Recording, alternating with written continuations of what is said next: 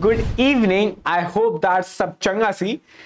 In this video, we're going to see this problem. It's actually the application of two major things which we saw in lecture 4 and which we have been seeing in the last traversal lectures.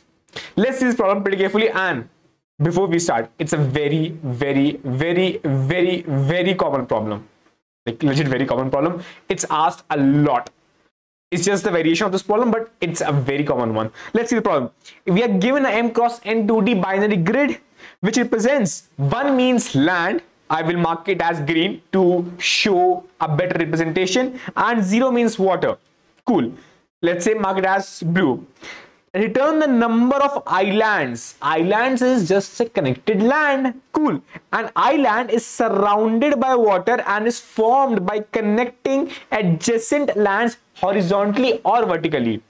You remember something? In a grid uh, if a land is connected horizontally or vertically then it is be an island Okay, you may assume all the four edges of the grid are all surrounded by water. Cool, which means that this grid, it's all water, water, water, like no island beyond this grid. So we have to just analyze this grid only. Let's see the example pretty carefully. I just showed the same grid right here. You will easily see what's happening here in the green I have marked my land. And we want the number of islands.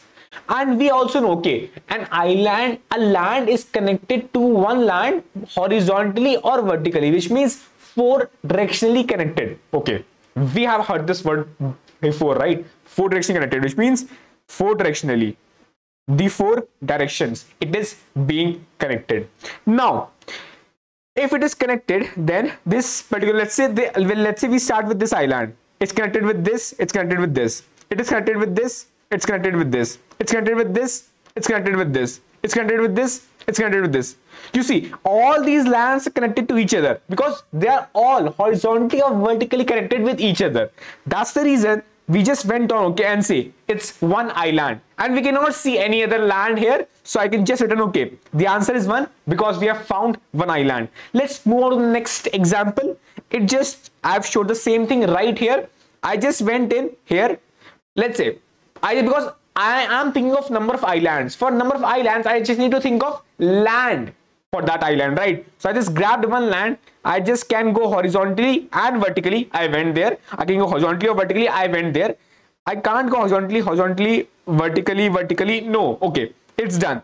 It's one island. Okay cool. One island. But still i can see some of the lands in my whole grid left right. Greens are still i can see. So i can again see okay. I have some greens left. So let's go on to this green like up, down, right and left, all are water. So it's also one island. Cool. Now I can still see, see, okay, it is marked as purple, it is marked as purple. I can still see some of the green lands. It is right here. Okay, I just go on to here and I can again see, okay, in the right, there's once again land. In the top, it like no land, in the left, no land. So, okay, it's again one island. Thus, I can say I have three islands possible and the answer is three. You saw what's happening here. You just went on to one of the land then you tried to go to all the lands which you can reach from this land right here. Which means you just tried to go to here here here here here here here here here and all. And then in the next iteration okay okay when let's say you started from this land you just tried to exhaust all the lands possible which are connected to this land connected to this land you saw the word connected to this land. Okay cool. Just remember this word. Then you just thought okay still i just look for any other land because i need to find the number of islands. Okay it's one island good but it can have multiple islands. It had one island i was sure okay. But it can have multiple islands so i just went on to the next one. Okay that's cool. Then again i just thought okay i just tried to go but it can't go anywhere so it's just another another island. Then i went to the next one and tried to go. It's just another island. It's another, another island. All these three are the islands. So you saw what happened. If we started, we started with one land, do a complete traversal as and where we can reach, and thus we found okay, it's a one connected component. You remembered what was a connected component? A component, a nodes or cells which are connected to each other. All these are connected to each other. What's the connection like? Horizontal or vertical that is the connection and then i can say okay number of connected components in this particular graph is 3 1 2 and 3 these three are the number of connected components that is the only thing which you have to do which means i'll just start at this graph at any of these land i just try to do the traversal i can do any traversal bfs or a DFS traversal. When we can do both the traversals in 99% of the times, it's highly recommended that you do a depth first search traversal. Why? Because the as we saw, the code is pretty short and it's exactly the same in complexity also in the space and time. So it's good that you just fastly write this code of uh, depth first search and you would be good to go. But as we just need to do a traversal it's not required that okay you just have to go like this you want to see the shortest path or something so you can do any traversal if it, it, it had said i want the shortest path i want something like this then we would have done a bfs but if it's just saying okay just traverse every node you can. Which means if i am starting from this node i can just go in a bfs way which means both and like this. Or i can just go in a depth first search way like this this this this this this and so on and so forth. So it's just that i will just go on to every of those land. I will just do a depth first search traversal until all the nodes in that component are exhausted when it is exhausted i can say okay i have found one island again i'll go on to any of those non-visited land which means the non-visited land it should be land right then I just say, okay, it's a non-visited land. I just again do a depth first search traversal okay, and again say, okay, if it is done, it's one island. Then I again go to an unvisited land, again do a traversal, depth first search traversal to find another component and we'll say, okay, now it is another island. And that is ultimately I just count all the number of islands. The code is pretty, pretty simple. Firstly, I just have initialized my all the variables m n and number of islands which i need to find then i just went on to every of those cell in my grid so that i can find okay i can just go on every land and start the DFS traversal provided it is not visited before which means I'll just go on and start the DFS traversal on this land. You will say aryan uh, i could not see that you have put a visited thing here. You should have you should have opted for the visited array here like vector here and then also have checked the visited here.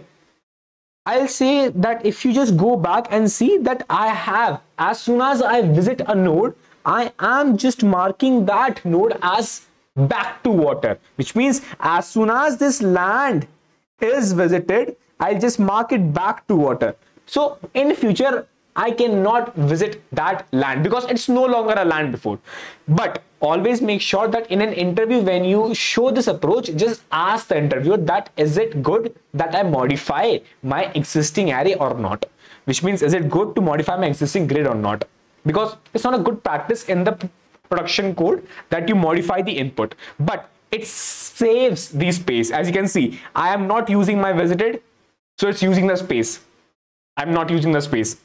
Okay, cool. I just went on to the land which has not been visited because anything, if it is land right now, it is not visited. Then I just did a DFS traversal and every of those traversal indicate, okay, one island of one connected component is being found. So I'm just increasing the number of island here, which means this. Ultimately, I have to return the number of islands. And it is a simple standard DFS traversal on a grid as we saw for the BFS also that uh, we just went we start from the node we just go on to every of the possible nodes okay I just start from a node. It's, it's just initializing the variables m and n. No worries. I just then try to go to the next of the of those cell. So as I reach my i and j, firstly I check is that i and j a valid cell or not which means it should be in the bound of the of the grid and it should not be a water if it is a water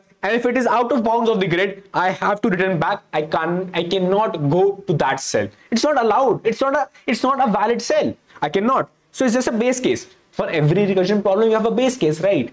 It is the base case that as soon as you go out of bounds of the grid or you reach a water cell, you have to go back. Sorry, you can't go there.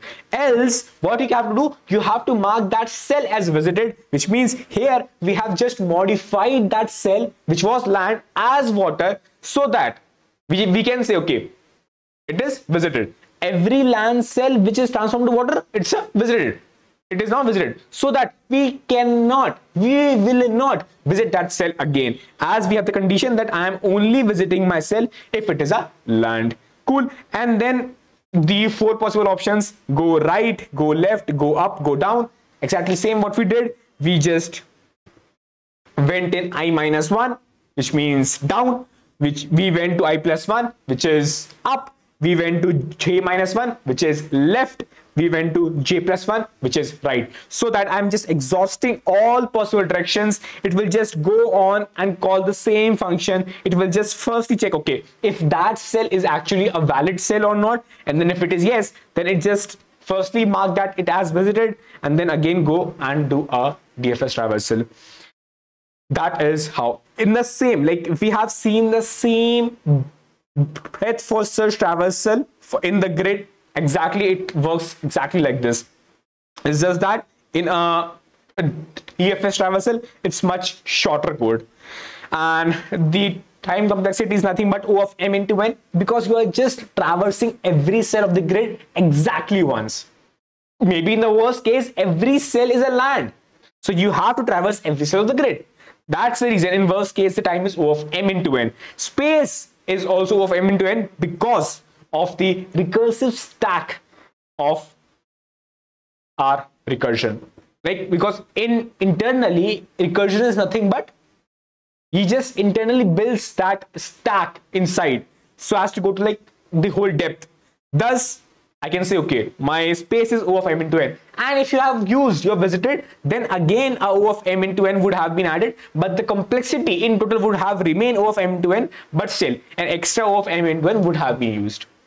That's pretty much it. All the codes of C++ and Java are down below and also Python. So I hope that you guys got it that okay, I just started from a node. I just did a traversal. Traversal means going on to every of those node and at every of the node, I just firstly check if that cell is valid or not. If that cell is valid, then I have to go visit that cell and just try to go all the cells around it and for sure as it goes to the next cell which means if i'm standing here and then i go, go to the right cell then it will for sure try to go to every of those cells which means it will try to come back here but we have checked that if it is zero because earlier it was land but as it was traverse it will become a zero. But now for this cell it is zero. So it will not traverse because it was actually visited. So it is acting as both visited as well as water.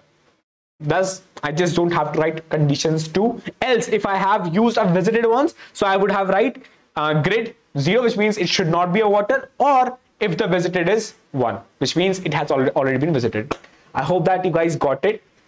And I have purposely taught you the uh, depth first search traversal because we have seen same kind of problem in the BFS traversal a lot. I hope that you guys liked it. Goodbye. Take care.